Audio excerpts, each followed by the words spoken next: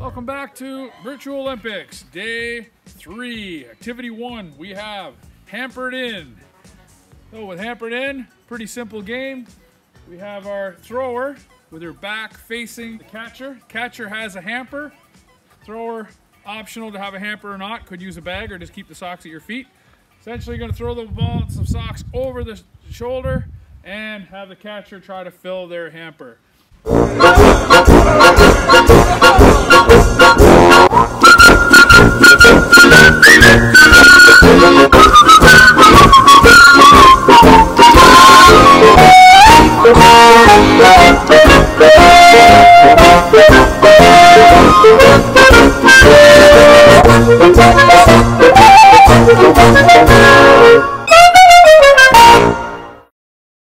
Anglophone School District North, another segment of Virtual Olympics. This is day three, activity two, skee ball.